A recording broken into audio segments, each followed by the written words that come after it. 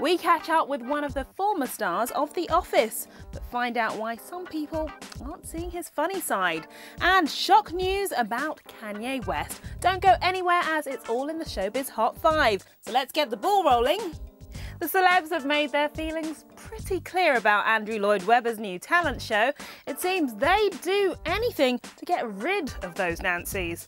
First, Kevin Spacey had a go at the search to find stars for the musical Oliver, and now Danny Dyer's been at it. But host Graham Norton has one word for him uh, bothered? Well, I don't know who Danny Dyer is, but there may be a clue in his name. I don't know. In at four, Mel B's hardly been seen out of her bikini in recent weeks, while prepared to feast your eyes on a whole lot more of her enviable body. She's helping to spice things up at lingerie label Ultimo. The singer's replacing Girls Aloud star Sarah Harding as their new spokesmodel. Hmm, wonder how Sarah's feeling.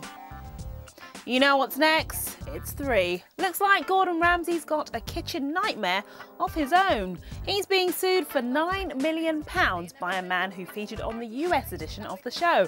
Martin Hyde reckons the programme was edited to make him look lazy and claims it ruined his career. Mm, bet Gordon's got a few words to say about that. Yep, all beginning with F.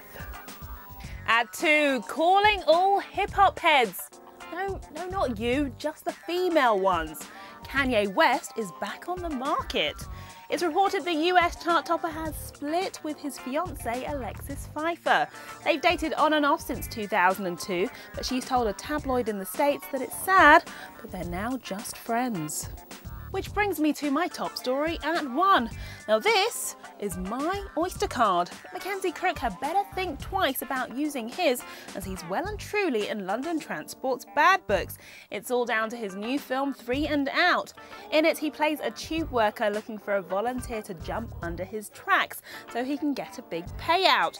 While there were small protests at the Leicester Square premiere as a result, but the one-time office star reckons they've got the wrong end of the stick. We're not dwelling on, on those sorts of sensitive issues. Um, and that sort of movie that did dwell on suicide, people jumping on trains, isn't something that I want to be involved in. You're not getting off that easy though, Mr. Crook, as he's also offended them by saying it took just 10 minutes to learn their job.